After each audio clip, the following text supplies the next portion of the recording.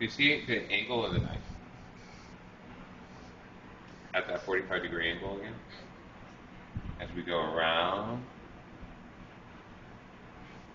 the rooting. What degree was that um, paring knife at? 45. 45. Okay. Now, at this point, I could do something called concasse. Concasse, C O N C E S E, accent aigu. Concasse um, is a technique that we use to take the skins off of all kinds of things. So at this point, I can make a small X here. That's your paring knife. Mm-hmm. the X. And then I'm going to plunge this into boiling water for about 30 seconds. I'm going to take it out, throw it into the ice bath, take it out of the ice bath, and this is all going to peel. Nice. Boiling water, you said? Mm-hmm. For how long? 30 seconds. The peel, the peel is literally going to start to come up. Do it again. Right. And then it'll be very easy, okay, to peel. I mean, I can peel anything like that. I can peel apples like that. I can peel peaches like that. I can And peel you grapes like that. cool it off, I'm sorry, for Right, ice bath. Ice. until the until it's full, until the heat is gone, until the cooking process is stopped. Okay.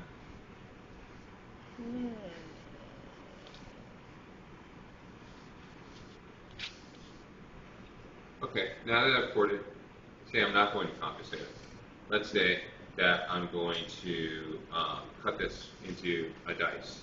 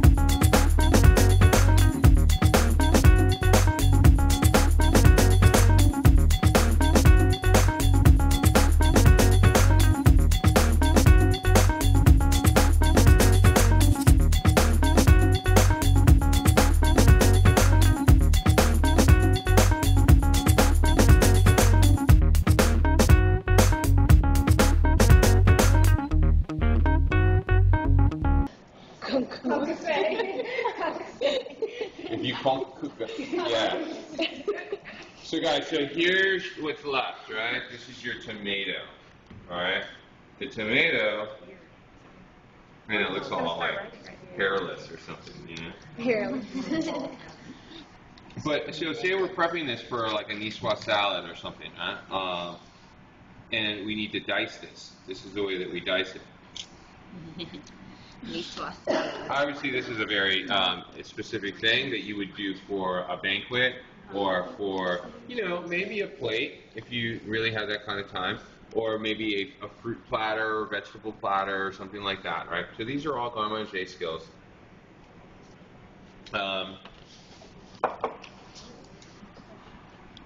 but, you know, like say if you're making a fresh tomato sauce and you had 40 tomatoes, you would concasse all. Boom, Right. boom, boom, boom, boom, boom. Peel them off, you know what I mean? Because you don't want that skin in your sauce, you know, Right. because it's never going to cook. It's just going to roll up and be all nasty, right? Okay, so we'll cut this in half. So. And then we'll go ahead and cut it in quarters. Now these are called petals. Petals, like the petals of a flower.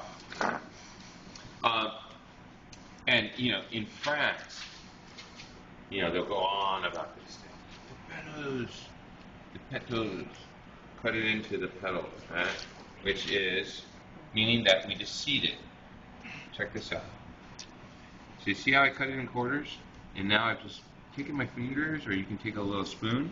Spoon works really well, like a small spoon.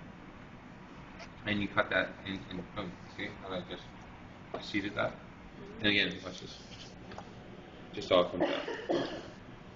And a lot of times, what you'll do is you'll just clean it like so, and you'll you'll take out this center. So you see what happened? We've made like a petal. You know, so this is like the petal that they're talking about. Mm-hmm. Right? We'll just go ahead and take this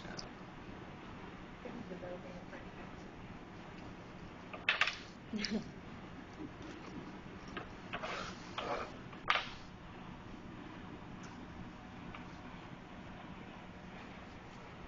Because for a lot of dishes, you don't want the water that's in the tomato. You know, like, for instance, once you get to a certain level and you're making a salad, you know, like if you do like a cream-based dressing, you know, anything that has a cream in it, um, any kind of dairy, you'll get water and dairy mixed Yeah. on the bottom of the salad. Yeah. Inevitably, right? Right? Starts to break down, and you get that watery, milky kind of stuff on the bottom. Or any of your emulsifications, really, they get watery, right? When you try to dress a big salad, or if a salad's been sitting for a little bit too long. At at a certain level, you don't, you know, this is the kind of tomato that you use. You just use the fruit of the tomato. You take the seeds and all that water out, because you know where all that water's coming from? The tomatoes that are just like cut up. Oh, diced tomatoes. Yeah, it's full of water. That's great for like, you know, pico de gallo, but not for you know a salad. Salad. Okay. Okay. So this one's stuck there. So we get the seeds, and there's our petals. Now again, like I told you, we do everything like a production line. So if I had 20 tomatoes, I would do them all like that first. Boom, boom, boom, boom.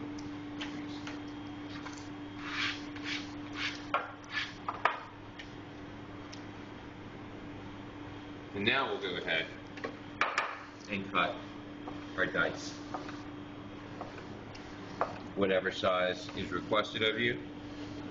It's just like doing the peppers now, basically.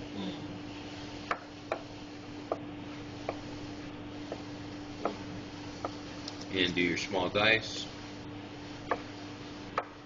Or let's say you're doing a more rustic salad and you want, you know, a large dice.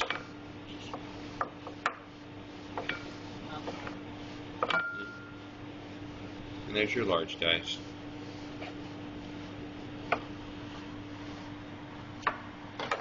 Um, okay, let's do garlic fabrication and citrus.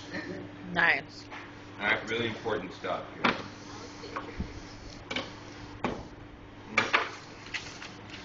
Give it a crack. Pops open.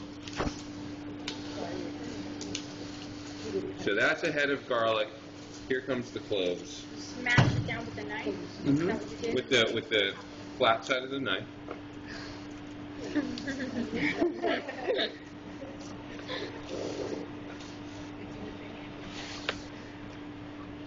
Okay. Now, once it's in this form, we're going to take the knife, watch. Just a little crack. Okay? Don't smash it to smithereens. Just wait for the crack. What is that through? So we can peel it. Yeah. So now it just popped that open. Can you see this?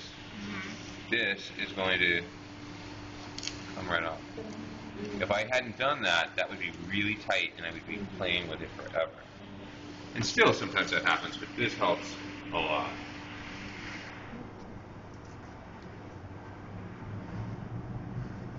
There we Well, it go. used to go like six, ten minutes.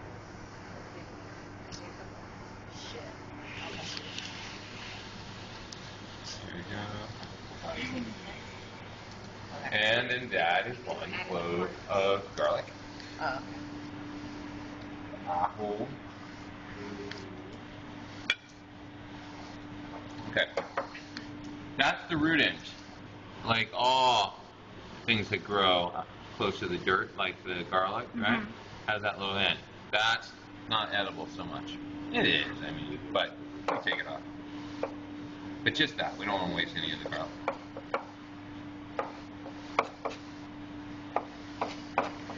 I show you my favorite way to prepare garlic.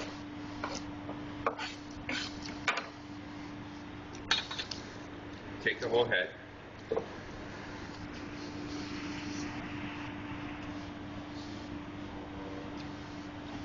Boil. Stand it up. You're going to take off the top quarter.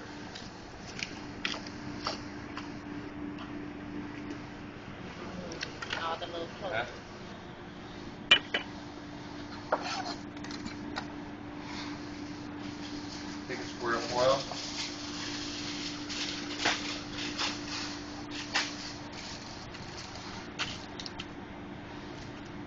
Nice and there. Um, a little bit of kosher salt and extra virgin olive oil.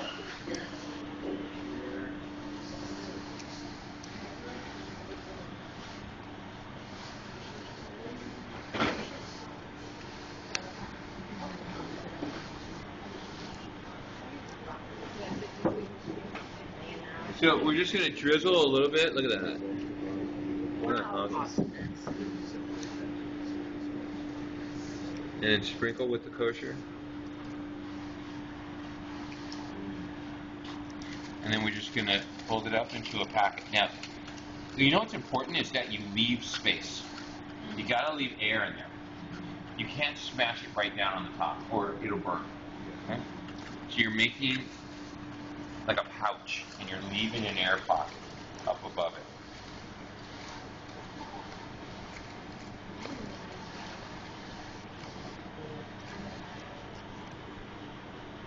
You don't have to close it tightly. Just make sure that there's space up there, up here in the top.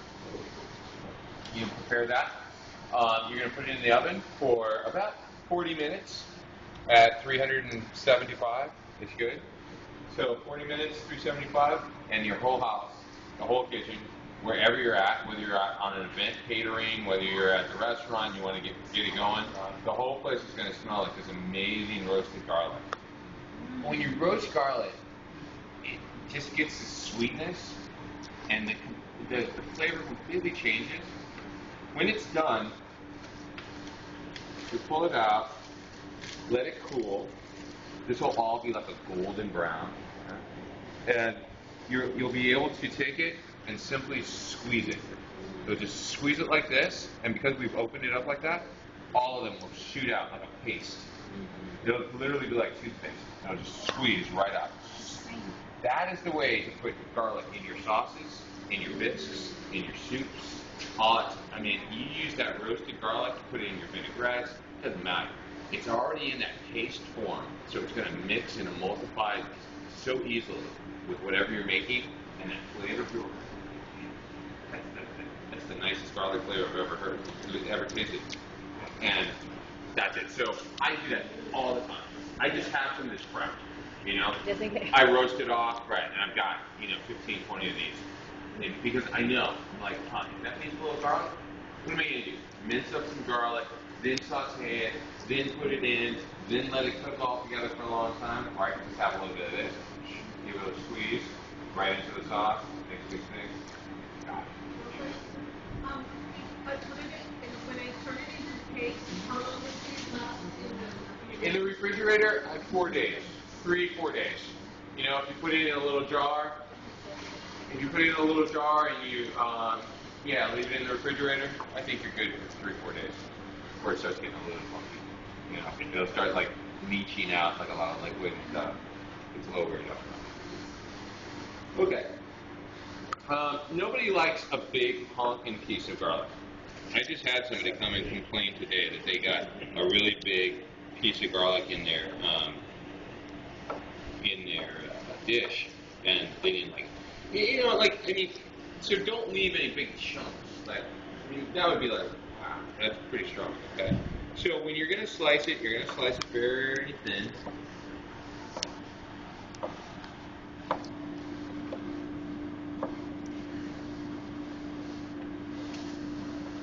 If you want to get it really thin, you can use it like a razor blade. Okay?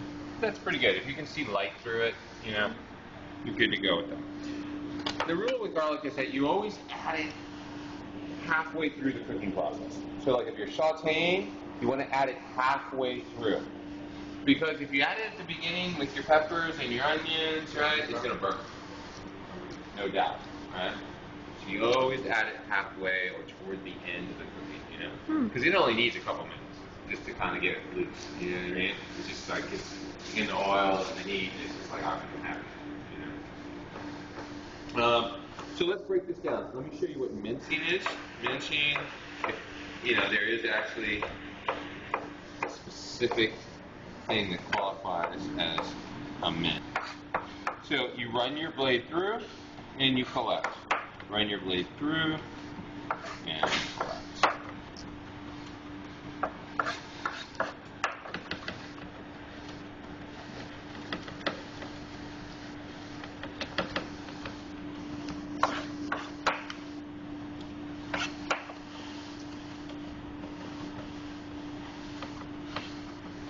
Something minced?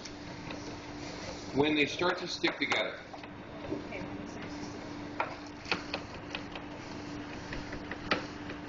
So many times people will over mince stuff or over um, pulse it in the uh, food processor. And what you're doing is you're losing all of your liquid when you over chop it.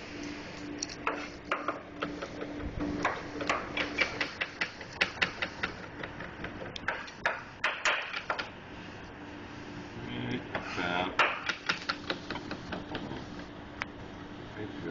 about Okay? And there's your mince. And you see how it all kind of sticks together like that? Uh-huh.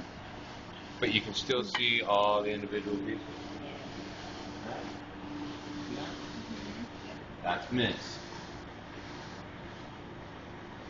Anything more than that, and again, you're going to start to get lose a lot of liquid.